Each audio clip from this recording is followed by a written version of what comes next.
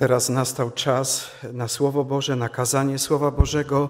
Tytuł dzisiejszego kazania to jest Babilon stwarza zamieszanie, a teksty do tego kazania są zapisane y, w objawieniu, 18 rozdziale i tam od drugiego do piątego wiersza. I zawołał donośnym głosem: Upadł, upadł wielki Babilon i stał się siedliskiem demonów i schronieniem wszelkiego ducha nieczystego i schronieniem wszelkiego ptactwa nieczystego i wstrętnego, gdyż wszystkie narody piły wino szaleńczej rozpusty. Jego i królowie ziemi uprawiali z nim wszeteczeństwo, a kupcy ziemi wzbogacili się na wielkim jego przepychu.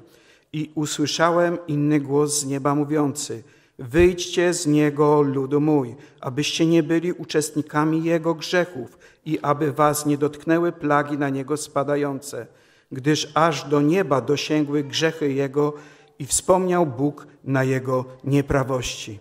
Do kazania serdecznie zapraszam naszego pastora Mirosław, y, Mieczysława Tarasiuka.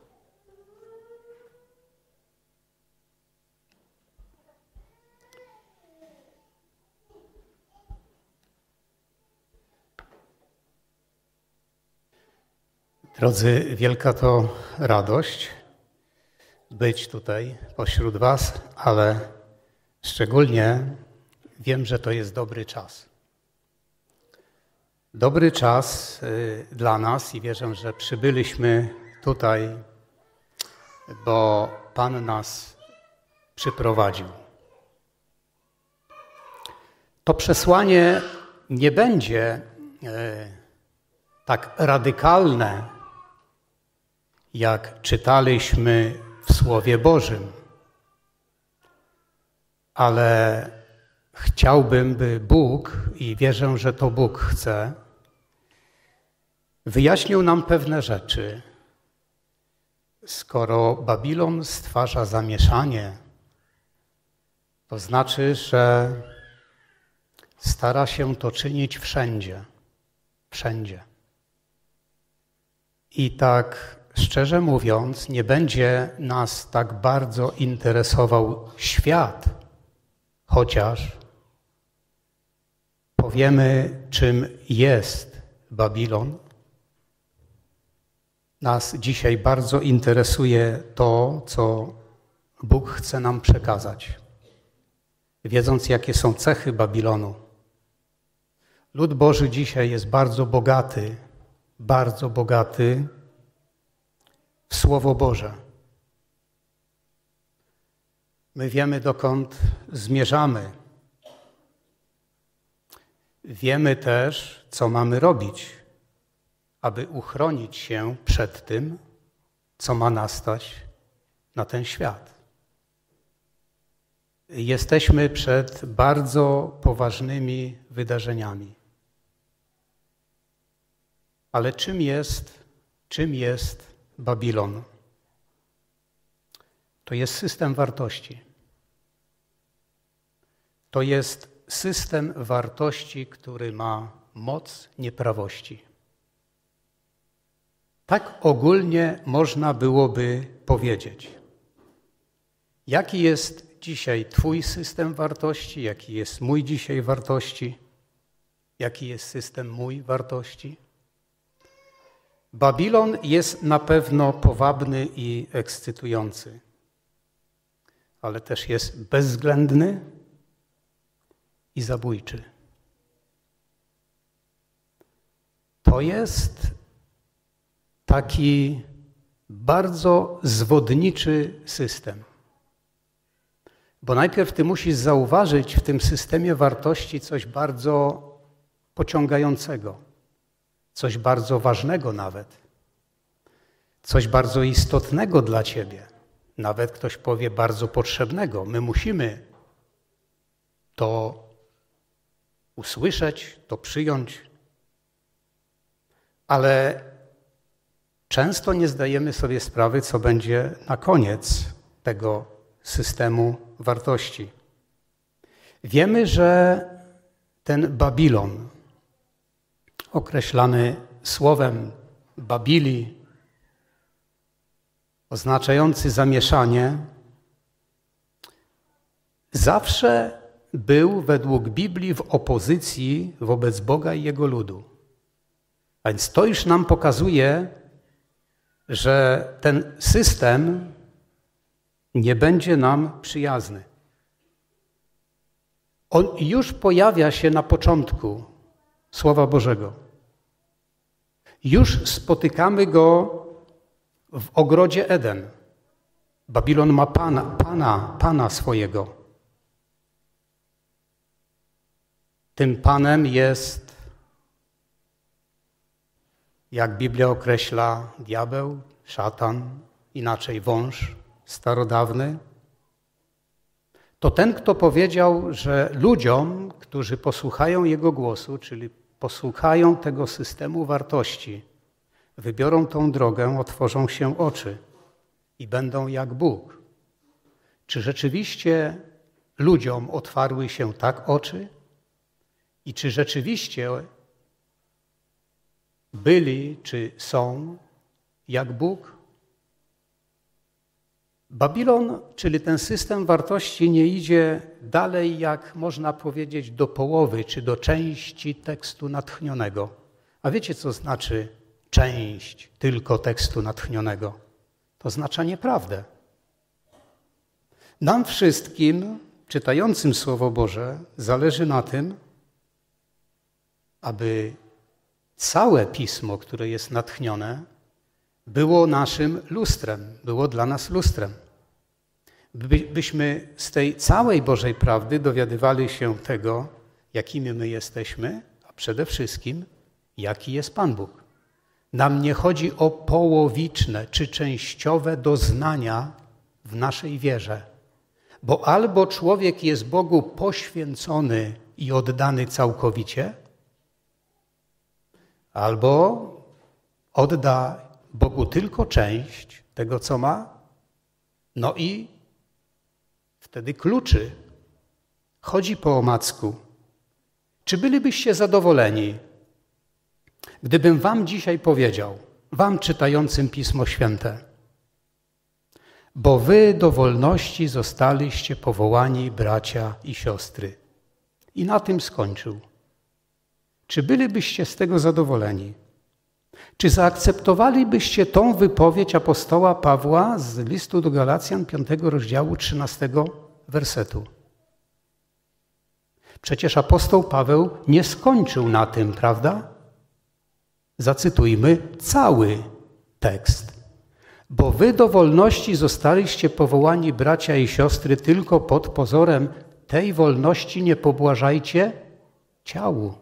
To jest cały tekst. I cały w tym ambaras, moi drodzy, i, ta, i cały w tym problem. Wolności, wolności, dużo wolności. Ale wolność nie polega na tym, by ta wolność była kształtowana przez nasz sposób myślenia, ale by była kształtowana przez sposób myślenia naszego Boga. Więc zwróćcie uwagę, Babilon to ten system jest o bardzo szerokich elementach działania i pochodzenia. To Babilon właśnie kształtuje cel życia, egzystencję, przedstawia świat w taki sposób, w jaki chce. I to wszystko, wszystko mamy.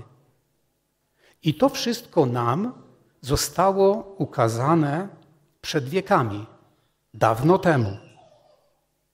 A więc wiemy, że ten system wartości jest w opozycji do Boga i do Jego ludu, czyli do Ewangelii też, do przesłania Bożego. I co dla mnie jest istotne w tym momencie, co, co pokazuje niesamowitą Bożą łaskę, miłość i do pewnego stopnia tolerancję dla tego, co się dzieje. Bo przecież system, ten system wartości, ten Babilon korzysta z czego? Nadal z Bożej łaski. Istnieje dzięki Bożej łaskawości, prawda? I miłosierdziu Bożemu. Ale istnieje do jakiego momentu? Do czasu, aż dopełnią się Jego dni. Czyli do czasu, aż, dopełnią się grzechy właśnie tego Babilonu. Czyli widzimy, na czym to polega. Czy pamiętacie, co w Księdze Rodzaju, 11 rozdziale, 4 wersecie powiedzieli ludzie budujący wieżę Babel? Co oni powiedzieli? Tam jest napisane tak: chodźmy, zbudujmy sobie miasto i wieżę, której szczyt sięgałby aż do nieba, i uczyńmy sobie imię, abyśmy nie rozproszyli się po całej ziemi. A więc co oni mówią?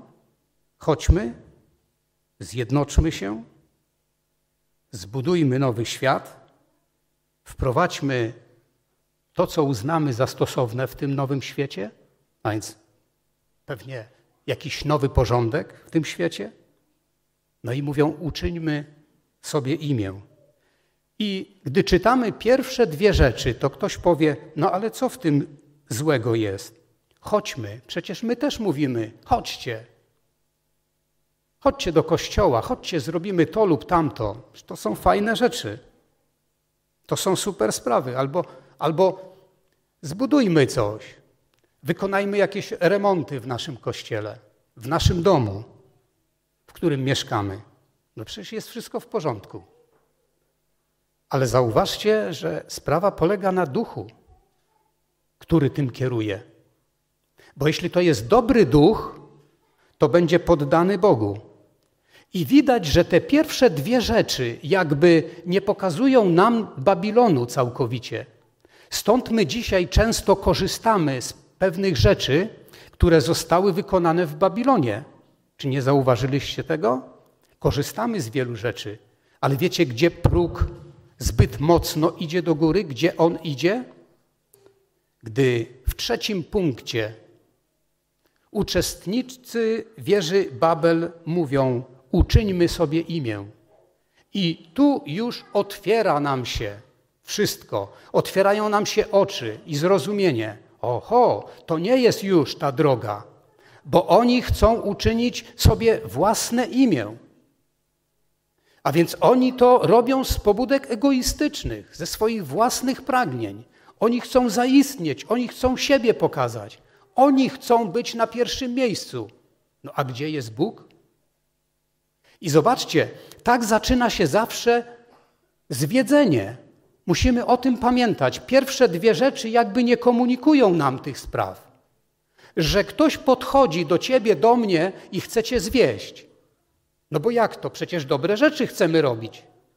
Ale te w cudzysłowie dobre rzeczy prowadzą do odstępstwa od Boga.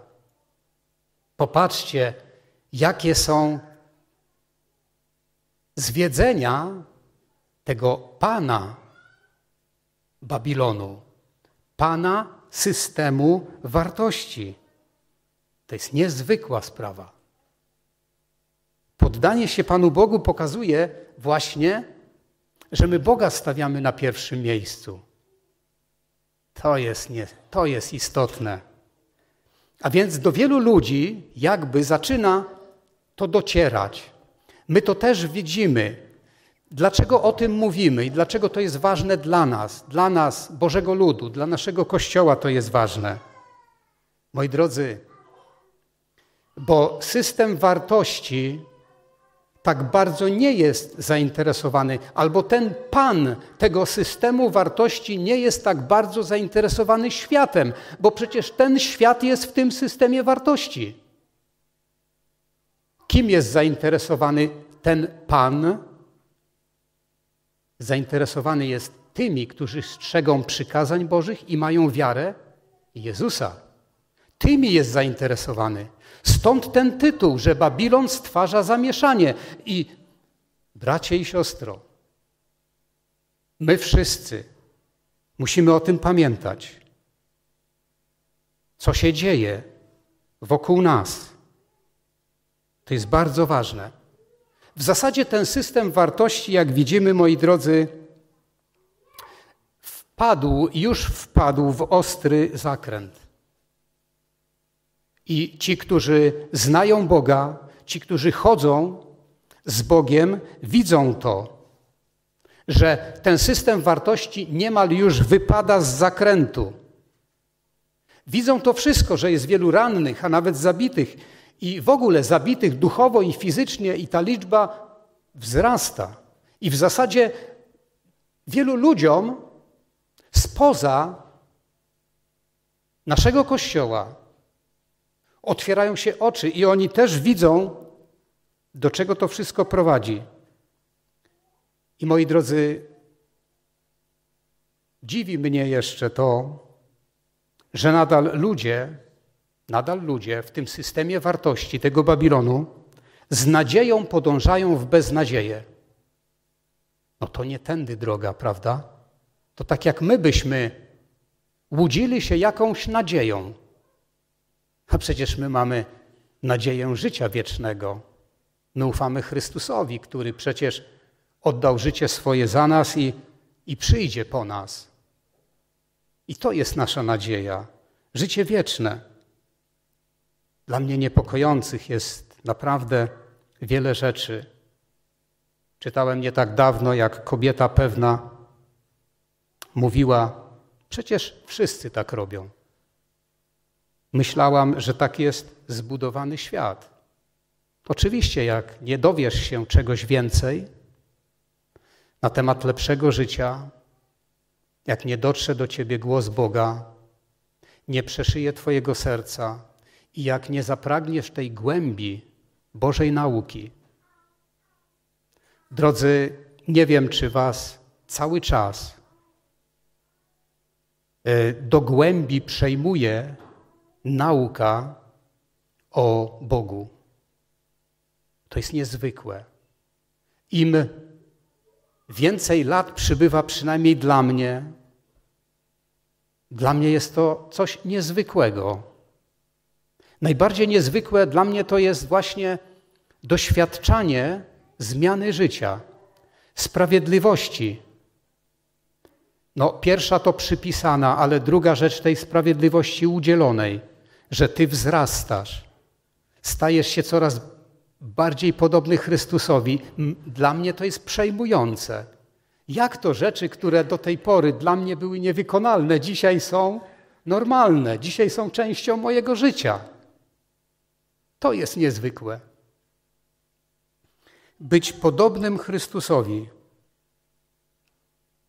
I teraz, moi drodzy, ten Pan tego systemu wartości, on nie jest zadowolony, że ty i ja chcemy być podobni Chrystusowi. Nie jest zadowolony, moi drodzy. Stąd wszystko to, co jest stworzone w tym świecie, ta cała kultura, jaka dzisiaj jest, tego świata, ona wdziera się bardzo mocno też i do Bożego Kościoła. Ale w ten sposób próbuje podważać Boży charakter i Bożą kompetencję. Twórcy tego dominującego trendu, moi drodzy, chełpią się, że spełniają również potrzeby dzieci, które przeniosą się do szkół powszechnych. Oczywiście. Stąd dzisiaj modliliśmy się o nasze dzieci, o młodzież. Oto by Bóg miał nas w opiece. Ten typowy trend, moi drodzy. Na Zachodzie na przykład uważa się, że każdy, kto nie ogląda telewizji, nie może zrozumieć głównego nurtu. Tego nurtu, tego systemu wartości, oczywiście. Gdy to przeczytałem, pomyślałem sobie, zaraz, to teraz co grozi ludowi Bożemu, gdy w swoim życiu będzie poświęcał czas sycił swoje oczy i swój umysł tym trendem, który ma miejsce w tym świecie. No to oczywiście, że ten trend w tym świecie zachęca do sposobu myślenia i form działania poprzez oglądanie tych rzeczy. Ty nawet nie musisz tego robić na początku, wystarczy, że to oglądasz. Naturalnie żyjemy w tym świecie, ale po co my żyjemy w tym świecie? Zostaliśmy powołani przez Boga do tego, by objawiać Chrystusa Pana. Zostaliśmy powołani do tego, by opowiadać Ewangelię. I to jest wielki Boży plan dla nas. Coś niezwykłego, moi drodzy. A więc widzimy, że ta sytuacja z jednej strony może być niezauważalna przez nas, ale z drugiej strony, gdy jesteś blisko Pana Jezusa, gdy chodzisz z Nim, to widzisz, na czym to wszystko polega. Że to wszystko idzie do upadku.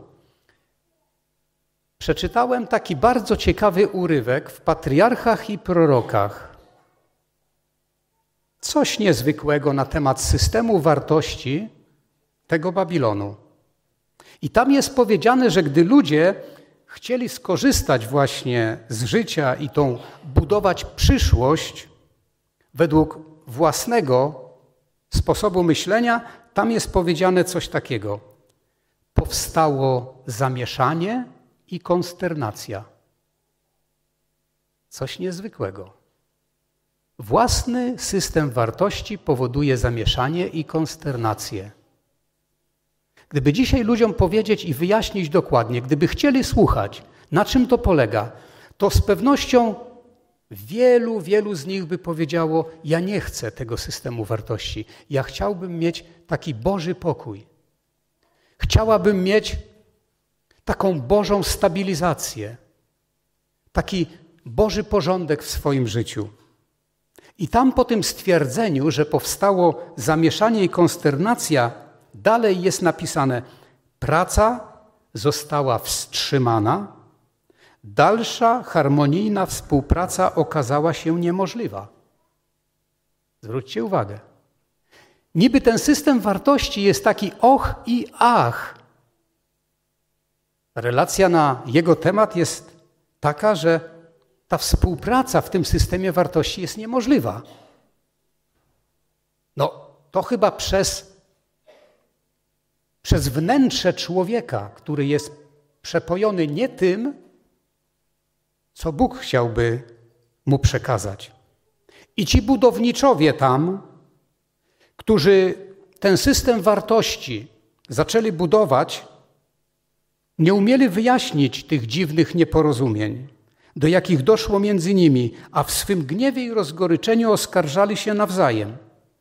Ich jedność zakończyła się gwałtownym sporem i przelewem krwi. Zwróćcie uwagę, do czego doprowadza tego typu system wartości. My to wszystko widzimy dzisiaj jak na planie, jak na filmie. To się wszystko wypełnia. Niezwykłe to jest. Ale dość już o Babilonie. Dość już o tym, czym jest Babilon, moi drodzy. Pomyślmy, jaka jest Boża droga, jaka jest Boża prawda. Chrystus powiedział, że jest drogą, życiem i prawdą. I nikt nie przychodzi do Ojca jak tylko przeze mnie. Tak powiedział Chrystus. I teraz pytanie jest takie. Pamiętacie, co Babilon mówił? Chodźmy i zjednoczmy się. Zbudujmy wieżę i miasto, więc budujmy swój porządek. Pokażmy przeciwwagę Babilonowi, jaka jest Boża droga i Boża prawda. Kto stwarza dobrobyt i szczęście? No, Pan Bóg stwarza dobrobyt i szczęście.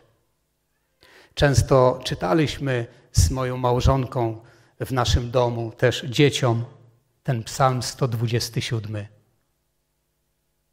Jeśli Pan domu nie zbuduje, próżno trudzą się ci, którzy go budują. Jeśli Pan nie strzeże miasta, daremnie czuwa stróż. Daremnie wcześnie rano wstajecie i późno się kładziecie, spożywając chleb w troskach. Wszak On i we śnie obdarza umiłowanego swego. Zwróćcie uwagę, taka jest droga Boża. To Bóg buduje, Bóg stwarza. Kolejna rzecz, moi drodzy, kto nadaje imię? Tamten system wartości przeciwny Bogu mówi: uczyńmy sobie imię. A Bóg mówi: ponieważ zachowałeś nakaz mój, by przy mnie wytrwać I ja zachowam cię w godzinie próby, jaka przyjdzie na cały świat, by doświadczyć mieszkańców ziemi. Przyjdę rychło. Trzymaj, co masz, aby nikt nie wziął korony twojej. I teraz zwycięzcę uczynię filarem w świątyni Boga mojego i już z niej nie wyjdzie i wypiszę na nim imię Boga mojego i nazwę miasta Boga mojego, nowego Jeruzalem, które stępuje z nieba od Boga mojego i nowe moje imię. Kto ma uszy, niechaj słucha, co Duch mówi do zboru. Kto nadaje imię? Pan Bóg nadaje imię. To są Jego imiona. Ty i ja możemy mieć te imiona. Czternasty rozdział, pierwszy werset objawienia świętego Jana też o tym mówi, że ci, którzy będą zbawieni, mają imię kogo? Ojca i Syna. Coś niezwykłego. Zobaczcie, to jest całkiem odwrócona sprawa. Babilonu, czyli tego systemu wartości, który nie przyjmuje Boga i Bożego dzieła. Całkiem inna sprawa. A kto stwarza jedność, moi drodzy? No Bóg stwarza jedność. Jezus modlił się modlitwą w Getsemane, aby wszyscy byli jedno, jak Ty, Ojcze, we mnie, a ja w Tobie, aby i oni w nas jedno byli, aby świat uwierzył, że Ty mnie posłałeś. A więc, jeśli my mówimy dzisiaj o jedności, to mówimy o jedności w imię kogo? W imię Boga. Tak jest. My nie chcemy jedności bez Boga. Nie, nie, nie. Dzieci Boże pragną jedności, cenią jedność. I mówią, konieczna nam jest jedność, bracia i siostry, pomiędzy dziećmi, młodzieżą, starszymi. Jedność, jedność, moi drodzy. O tym Pan Bóg mówi. Jeżeli będziemy mieli jedność, tak jak tu Chrystus mówi o jedności Ojca z Nim, to drodzy, my, zauważcie o co tu chodzi, że Bóg zaprasza nas najpierw do jedności ze sobą. Jeśli ta jedność nasza, osobista, będzie z Bogiem, to nie musimy się martwić o jedność w Kościele. Ta jedność przyjdzie naturalnie. Oczywiście, że tak. On tą jedność zbuduje w naszym Kościele. Jak to proste jest. Jeśli tylko przyjmiemy wolę Boga. Zauważyliście? To wszystko jest odwrócone. A więc są dwie drogi. Jedna prowadzi na zatracenie, a druga prowadzi do żywota wiecznego. No i teraz, dlaczego mówimy o tym? Dlatego, bracia i siostry, byśmy pamiętali, że rolą Pana Babilonu i jego upadłych aniołów jest odwieść nas. Odwieść nas od Boga, abyśmy choć przez chwilę pomyśleli, że my, my ludzie, może wykształceni, może znający się na jakimś rzemiośle, może zasobni w różne rzeczy, bo przecież, kochani, jest dobrobyt. Jest dobrobyt. Trzeba przyznać, że jest nam dobrze, nam nic nie brakuje. Łatwo jest pomyśleć o sobie.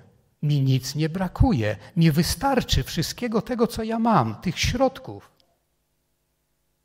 I to, jakim jestem, wystarczy mi. I teraz Bóg chce nam zwrócić uwagę, że właśnie nawet takie myślenie powoduje, że Babilon czy ten system wartości może stwarzać w naszym umyśle, w naszym sercu zamieszanie, może powodować i budować egoizm w nas. Tu nie chodzi o jakieś wielkie rzeczy, o jakieś bestie wielkie, o jakieś sprawy ogromnej wagi. My, interesując się, proroctwa są ważne, oczywiście, by widzieć, w jakim kierunku podąża ten świat. Ale zwiedzenie, zauważyliście, Zwiedzenie jest takie, że może odwrócić naszą uwagę, może nas zainteresować wielkimi sprawami, a małe będą kwitły w naszym sercu i umyśle. i polegniemy. Po prostu. Zwróćcie uwagę, nie możemy o tym zapomnieć. Dzisiaj, gdy z tego miejsca mówię, i być może wiele osób będzie słuchać tego przesłania, mogę powiedzieć tak: człowieku, kimkolwiek jesteś, oddaj serce Jezusowi. Oddaj serce Jezusowi, poświęć się całkowicie prawdzie. Gdyby uczniowie Pana Jezusa nie byli poświęceni prawdzie i prowadzeni nie byli Duchem Bożym, nie opowiedzieliby Ewangelii. Co nam pozostaje, moi drodzy? Poświęcenie się prawdzie, bycie z Jezusem. Wyobraźcie sobie, gdyby trzej mędrcy nie przemierzyli wielkiej odległości, szukając Chrystusa, to co, znaleźliby go? Nie. Ale zwróćcie uwagę, z jak daleka oni przyszli. Poszukiwanie prawdy i pobożność to dwie wartości niezbędne w życiu. O co chodzi w naszym życiu, moi drodzy? Aby każdy z nas głęboko kopał to, co mówi Chrystus. I ten dom, dom, swój osobisty dom. Dom to nie tylko jest kościół, ale dom zaczyna się od naszego osobistego życia. Potem przechodzi na rodzinę, następnie na kościół. Można powiedzieć, że na naród też. Ale jeśli nie zaczniemy kopać głęboko i widzieć w tym Chrystusa, Jego przesłanie w Biblii, to nie będziemy nigdy zainteresowani tymi niezmierzonymi bogactwami Bożego Słowa. Stąd Bóg nas zachęca i mówi poszukiwanie prawdy i pobożność. To dwie wartości niezbędne w życiu. Kiedy ludzie szukają prawdy, nie uznając przy tym Boga, ich poszukiwania są ograniczone. Z drugiej strony, kiedy starają się być pobożnymi, a jednocześnie nie szukają prawdy, grozi im pusty emocjonalizm i powierzchowność. Świat dzisiaj potrzebuje ludzi pobożnych, którzy wytrwale i z poświęceniem szukają prawdy. Oto ważna wypowiedź, moi drodzy, w Słowie Bożym, zapisana w pierwszej księdze Samuela, drugi rozdział, trzydziesty werset. Gdyż tych, którzy mnie czczą i ja uczczę, a którzy mną gardzą, będą wzgardzeni. Wiecie, do kogo ta wypowiedź się odnosiła? Do domu Helego. Można powiedzieć, że ta wypowiedź odnosi się do naszych domów, do wszystkich nas. To jest niebywałe, moi drodzy. I dlaczego to jest tak ważne? No bo Pan Jezus w Ewangelii Jana, 16 rozdział, 13 werset, powiedział coś bardzo niezwykłego, bardzo. Powiedział, że Duch Prawdy wprowadzi nas we wszelką prawdę. Kochani, o tym często lud Boży zapomina. We wszelką prawdę wprowadzi nas Duch Boży. Kiedy ma to się stać? No przecież, no przecież, dzisiaj, teraz, jutro, pojutrze, całe nasze życie. Zauważcie, nikt z nas nie może stać w miejscu. Kiedy ten czas nadejdzie? Osobiście musimy o tym myśleć, rozmawiać z Bogiem, moi drodzy. Nie możemy stać w miejscu. Bóg chce wprowadzić nas we wszelką prawdę. I ten fenomen prawdy jest dla mnie niezwykły. Dlaczego? Bo wiąże się z Chrystusem. Dlatego jest niezwykły. Co to znaczy? Bardzo ładnie wy, wyartykułował to uczeń Chrystusa, Jan. W pierwszym liście Jana, drugi rozdział, od trzeciego wersetu. I powiedział tam tak.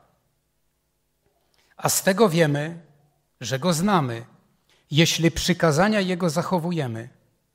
Kto mówi, znam go, a przykazań jego nie zachowuje, kłamcą jest i prawdy w nim nie ma. Co to znaczy wszelka prawda? O, musisz wejść na tą drogę. Więc prawda jest w tym właśnie prawie Bożym. Jeśli tego prawa nie ma, no to i Chrystus tego prawa nie przestrzegał.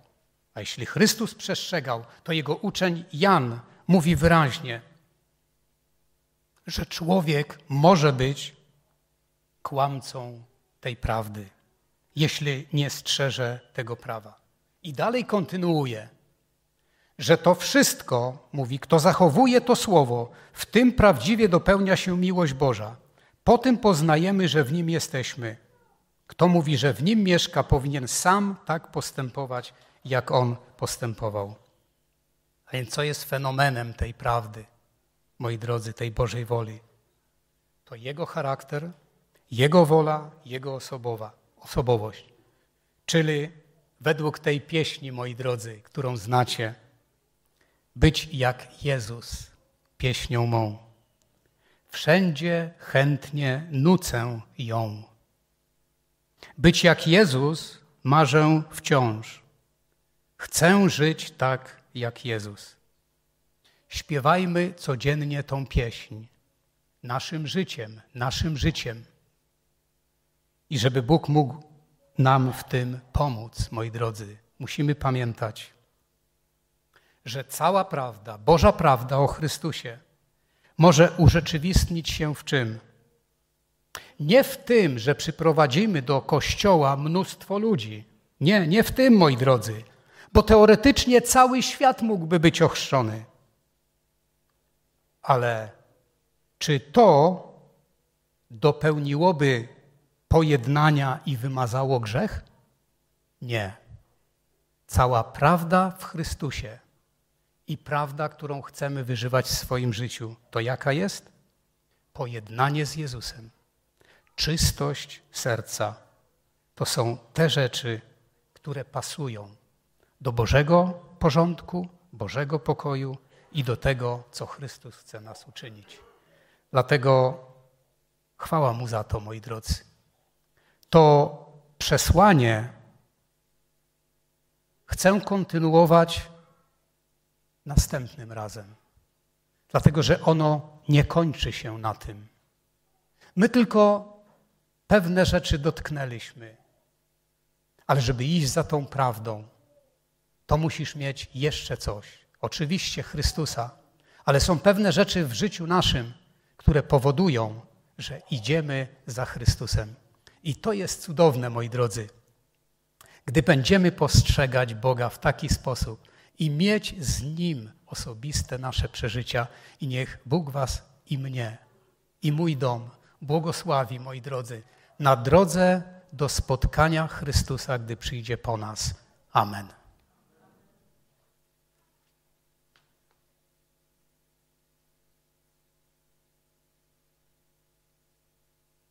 Dziękujemy Bogu i bratu Mieczysławowi za słowo przed y, odśpiewaniem, zaśpiewaniem ostatniej pieśni. Powstańmy jeszcze do modlitwy z bratem Mieczysławem.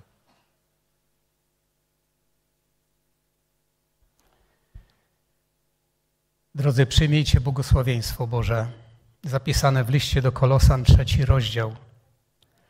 A tak jeśliście wzbudzeni z Chrystusem, tego co w górze szukajcie, gdzie siedzi Chrystus po prawicy Bożej, o tym, co w górze myślcie, nie o tym, co na ziemi. Umarliście bowiem, a życie wasze jest ukryte wraz z Chrystusem w Bogu. Amen. Módlmy się. Drogi Wszechmocny Ojcze, który jesteś w niebie, dziękujemy Ci z całego serca za to, że stanąłeś na drodze naszego życia. Dziękujemy Tobie za to, jakim Ty jesteś i że codziennie Ciebie poznajemy. I widzimy, jak bardzo umiłowałeś nas i sycisz nas duchowością własną. Kierujesz naszą uwagę na słowo Twoje. Prosisz nas, ostrzegasz i dajesz nam co jakiś czas różne doświadczenia. Dlatego w tym czasie, w którym żyjemy, w tym systemie wartości, który nas otacza, Ojcze, dziękujemy Ci za to słowo i dziękujemy Ci za Twoją ochronę, za przestrogę, za to, co jest, ale szczególnie za to, co będzie, kiedy coraz więcej możemy widzieć i być wolnymi od tych rzeczy, które otaczają świat i które są przeszkodą w naszym, naszych relacjach z Tobą, ale też przeszkodą na koniec w zbawieniu naszym. Ojcze, błogosław nas i prowadź, każdego tutaj, jak widzisz, Boże. Bądź z tymi, którzy są chorzy, którzy Ciebie bardzo potrzebują. Daj, Panie, wszystkim ducha swojego i ukojenie w tym codziennym życiu. Błogosław czas, w jakim tu byliśmy, ale też cały czas, w którym z Tobą będziemy przez te dni. Niech imię Twe będzie wywyższone wszędzie, tam gdzie jesteśmy. W imieniu Chrystusa prosimy i dziękujemy. Amen.